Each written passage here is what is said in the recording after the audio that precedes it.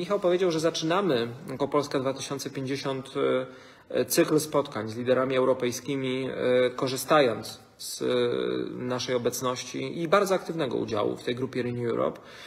Ja już dziś mogę zapowiedzieć, że w poniedziałek będę w Brukseli, w, gdzie zostałem zaproszony w charakterze gościa specjalnego na spotkanie przed szczytem Unii Europejskiej, w, na spotkanie liderów europejskich, w którym weźmie udział m.in. prezydent Macron i ośmiu, o ile dobrze pamiętam, szefów e, rządów e, należących do Renew Europe, szef Rady Europejskiej Charles Michel, ale też premier Holandii, e, premier Estonii, w premierzy, no, nie wiem czy wiecie, ale to nasza rodzina parlamentarna, znaczy nasza rodzina europejska wygrała wybory w Słowenii.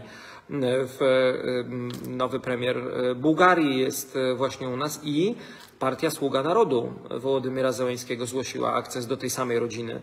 W poniedziałek więc będę miał wystąpienie e, e, na spotkaniu mm, tych wszystkich e, przywódców. Będę starał się e, zarysować miejsce Polski obecne i to, które powinno mieć miejsce na które Polska zasłużyła w ro- europejskiej rodzinie, pokazać, że Polska jest kreatywnym twórcą tej nowej Europy, na którą wszyscy czekamy, że w Polsce są środowiska, które, które opowiadają się za właśnie tym pokoleniowym, nowym myśleniem e, o budowaniu e, polityki. To już w poniedziałek. Bardzo się z tego cieszę. To wielkie wyróżnienie też dla Polski 2050.